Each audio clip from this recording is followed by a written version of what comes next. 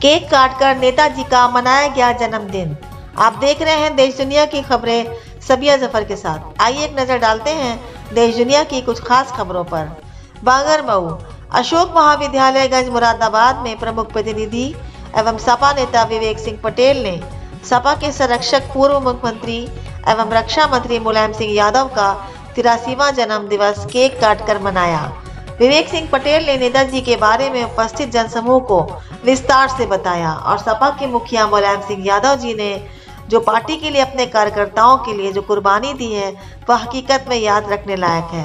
कार्यकर्ताओं ने जो पार्टी के लिए कुर्बानी दी है, वो भी याद रखने के लायक है। यहाँ पर सपा के मुखिया मुलायम सिंह यादव के तिरासीवें जन्मदिन के मौके पर कार्यकर्ताओं में दिखी खुशी की लहर और चेहरे खिले। कार्यकर्ताओं ने धूमधाम से मनाया जन्मदिन। और उनकी उम्र दराजी के लिए ईश्वर से प्रार्थना भी की। उनकी सेहत ठीक रहे और उनका हाथ हम सभी के सर पर रहे। यह अपील की गई। आगामी विधानसभा के चुनाव में समाजवादी पार्टी की सरकार बनाए।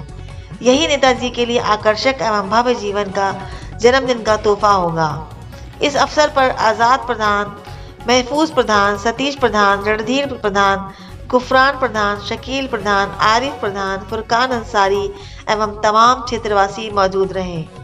बागर मऊ से जिला क्राइम ब्यूरो, मेहताब आलम की खास रिपोर्ट।